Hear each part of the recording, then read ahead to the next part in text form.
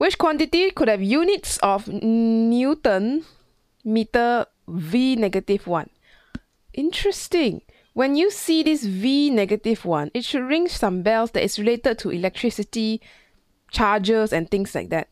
So acceleration, not likely. Don't have volts in it. Charge, current, resistance, mm, possible. Okay, now what? Now we have to figure out uh, how do you get Newton together with volts. What equation has force in it and has something V in it? And what is M? Meter length. Okay. Anything with F and V. You might say no, but hang on a second. For current and resistance and all these things, let's write all the equations we know. Charge is Q equals IT. What else has Q? F equals QE. Anything has Q? I think that's pretty much it. Okay. Uh, then current has, uh, oh, it's the same thing, Q over T. I equals to V over R. Resistance, R equals to rho L over A.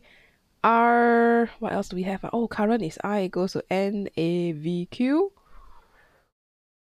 R equals to V over I. If you look at all these equations we just throw out, I think the only one that has possibly force and electricity related is this one. That's force. That's QE. Okay, let's go. So F equals to QE.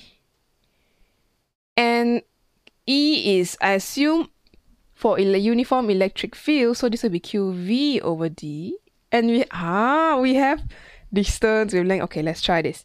So Q equals to FD over voltage. So the units of this would then be force, distance, V negative 1. Oh, it is the answer. Okay, so let's go with this. So start off with equations, then use the equations to help you substitute your base units and find the answer. Okay, that's all for this video.